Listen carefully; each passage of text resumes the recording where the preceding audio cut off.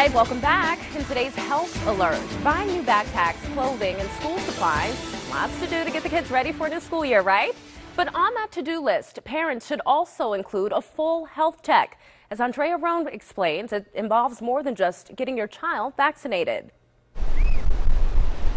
With summer vacation winding down, this is crunch time for parents across the DMV and busy times at doctors' offices. Like a lot of people, it's August, it's time for back to school, so we're getting all the updated forms completed in time for school to start. Regulations vary by state, but across the metro area, youngsters must show proof of immunization before school starts or they may be excluded from class. This is our immunization schedule. Dr. Blair Farr is a pediatrician at MedStar Georgetown Pediatrics. And then at four years, we have another series of vaccines. We do the MMR, measles, mumps, rubella, um, the varicella, which is a chickenpox vaccine, um, and then a DTaP, diphtheria, tetanus, pertussis, and a polio vaccine. And then nothing again until age 11. At 11 years, we do the HPV vaccine, which is the human papillomavirus vaccine, um, a meningococcal vaccine, which protects against um, certain strains of meningitis, and then the Tdap booster, which is tetanus, diphtheria, pertussis.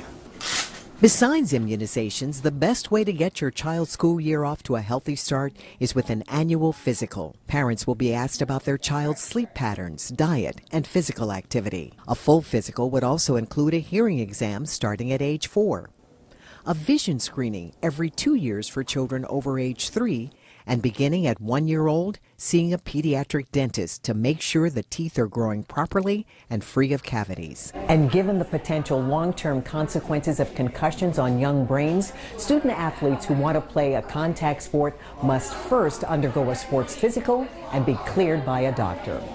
And so we make sure to ask about family history of any heart disease, um, sudden death early in the family that can be an indicator of heart disease they have trouble breathing when they're playing a sport. We just want to pick up any underlying conditions that may affect their sports performance and, and disqualify them from sports.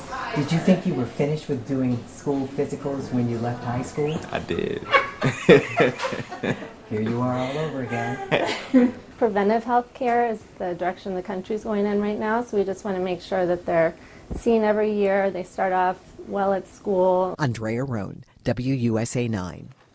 All right, we have one more thing to tell you, by the way. If your child has a chronic condition or any sort of allergy that has to requires them to take some medicine during the school day, you have to let your school know. It's listed on the Universal Health Certificate that you uh, actually give to the school to make sure everyone is on the same page here. So this, of course, is all good for your child's health.